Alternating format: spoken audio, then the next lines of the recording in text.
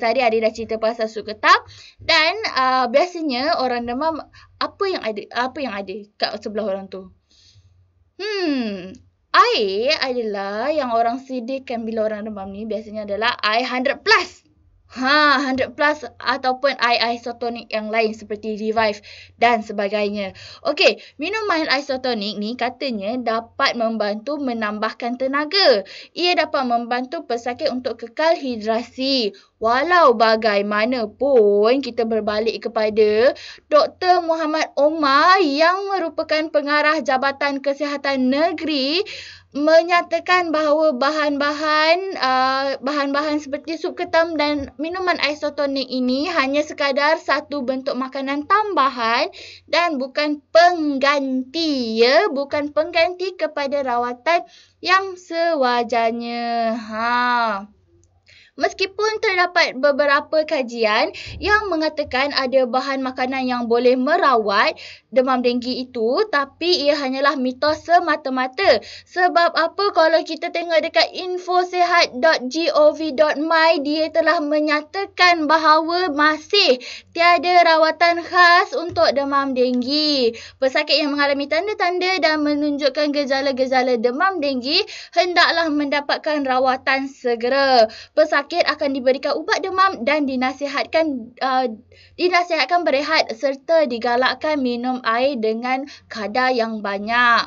Pesakit akan dimasukkan ke dalam wad sekiranya disyaki uh, menghidap demam denggi berdarah. Ha bahaya okey guys kalau kita percaya bulat-bulat benda ni semua kita kena kaji dulu guys. Alright. So, yang keempat sekarang yang Ari nak ceritakan adalah untuk minum air kelapa.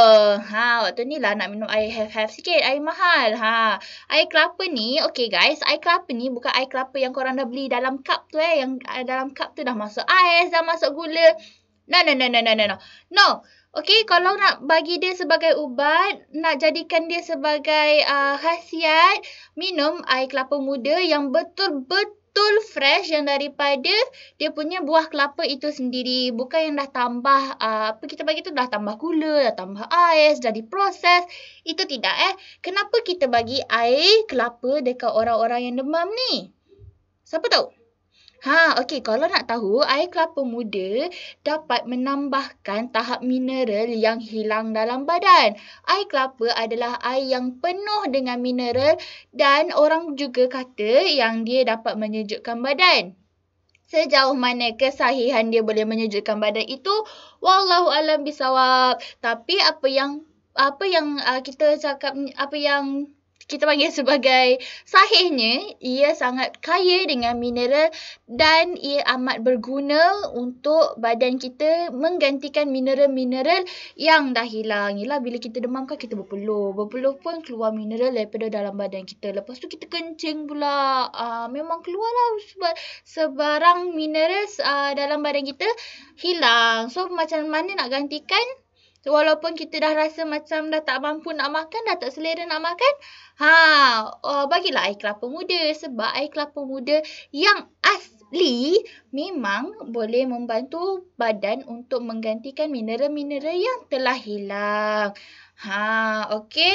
So, itu dia yang keempat. Apa lagi yang orang selalu bagi?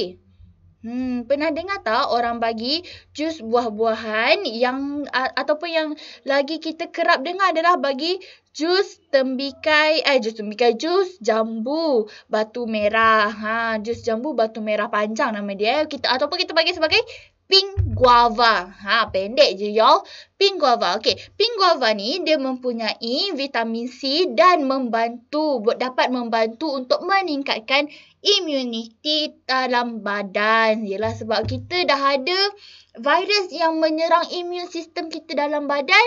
So, uh, bila kita dapat uh, bila kita minum jus jambu batu merah ni, pink guava ni dia dapat membantu immune uh, immune system dalam badan kita untuk membantu untuk melawan semula. Ha, macam tu untuk teruskan kita cakap teruskan menahan daripada sakit tu berlaku. Tapi ini semua adalah petuang. Ha, apa-apa pun guys, korang jangan lupa untuk pergi jumpa dengan doktor bila dah uh, ada simptom-simptom demam denggi. Jangan berani-berani mencuba untuk meletakkan nyawa anda dalam bahaya. Okey, sebab sekarang ni kita tak tahu. Sekarang ni zaman moden, ingat gadget je ke moden? Hmm, tak. Sebenarnya penyakit pun dah jadi makin moden. Sebab itulah untuk demam denggi ni sampai sekarang tak jumpa penawar. Okey, bagi siapa yang jual ubat-ubatan palsu, jangan percaya.